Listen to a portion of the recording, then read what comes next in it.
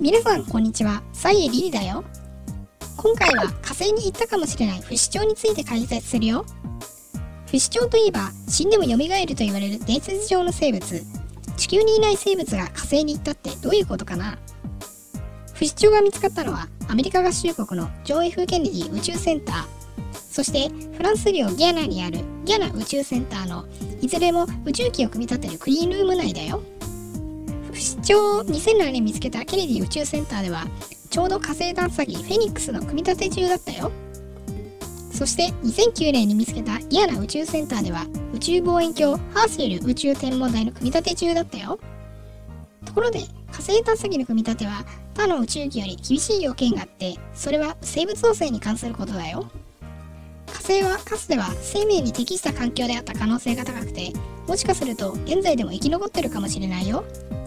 また火星の環境は過酷だけど地球にいる生物にはそれに耐えてしまうような非常にタフなものもいるよ。そう考えると探査機にくっついた地球の生物が火星にたどり着いて火星を汚染してしまう恐れは十分にあってだから火星探査機の組み立ては他の科学分野と比べても非常に綺麗なクリーンルームで行われるんだよ。どんなクリーンルームかというとこんな感じ。地球上どこよりも最もクリーンな環境とさえ言われているよ。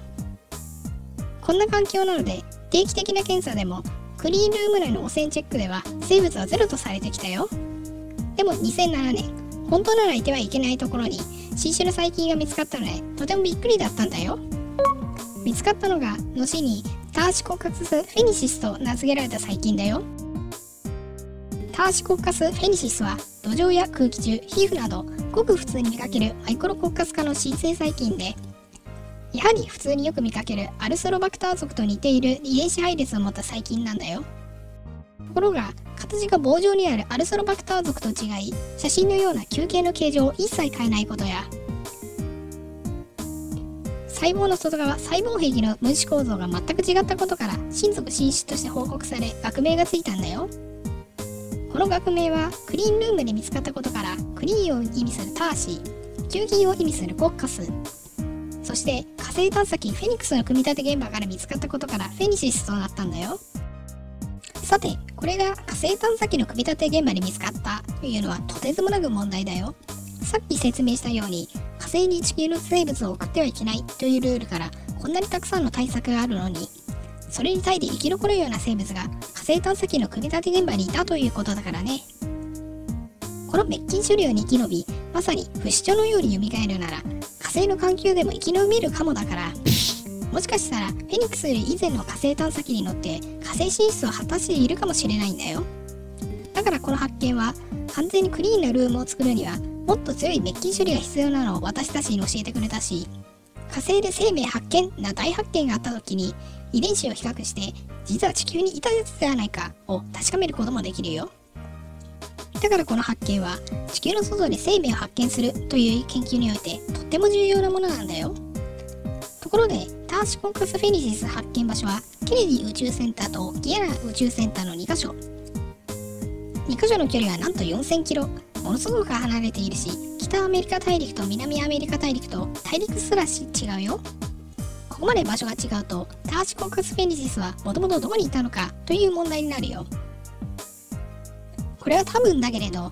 ターシコカスフェニシスの仲間は土壌にはよく見かける細菌の種類だからターシコカスフェニシス自体も世界中の土壌にいると考えるのが4000キロの説明に一番スッキリするよただし、ターシコカスフェニシスは未だに自然界では見つかっておらず、クリーンルームでのみ見つかっているよ。